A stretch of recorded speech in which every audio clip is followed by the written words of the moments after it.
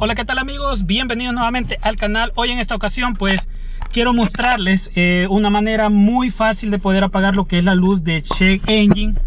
Como verán aquí, la luz del check.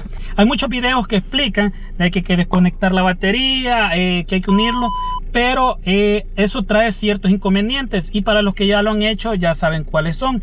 Uno de ellos es que todas las configuraciones que son digamos la hora, lo que es la radio, parámetros que se han guardado, se descontrola lo que son todas las configuraciones. Así de que les voy a mostrar una manera súper fácil que la van a poder realizar en cualquier vehículo sin la necesidad de un escáner y sin la necesidad de desconectar la batería. Solamente espero que se suscriban al canal, denle me gusta y compartan en sus redes sociales. Este es un proceso muy fácil que van a poder realizar, como les menciono, sin la necesidad de un escáner y no desconectando la batería. En este caso eh, lo estoy haciendo con este vehículo, pero la mayoría de vehículos es compatible.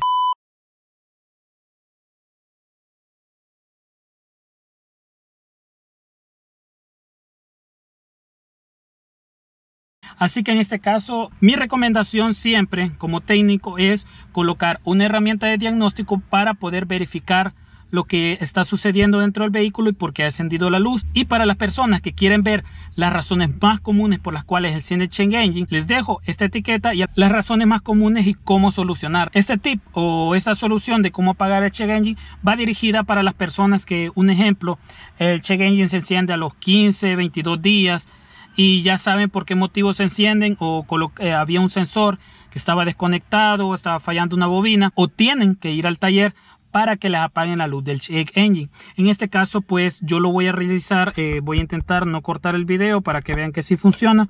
Vamos a arrancarlo. Vean el check engine está encendido y vamos a abrir en este caso pues el capó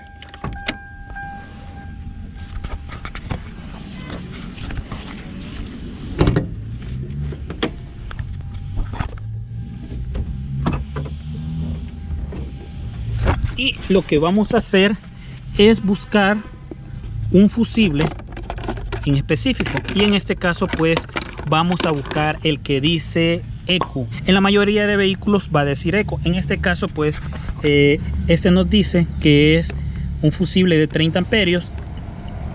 En este caso pues sería este. Así de que vean en su compartimento y vean cuál es el fusible. En este caso como les digo es el 30 vamos a sacar el fusible vamos a esperar unos 10 segundos eh, ya que esta eh, se borra bastante rápido y lo vamos a volver a colocar. Cerramos aquí y vamos a arrancar el vehículo.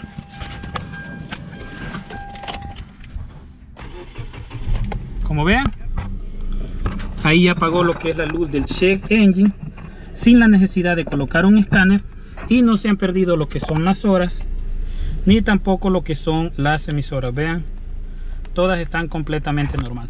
Espero que les haya servido este tip amigos así que amigos les invito a suscribirse al canal denle me gusten y compartan en sus redes sociales. Hasta la próxima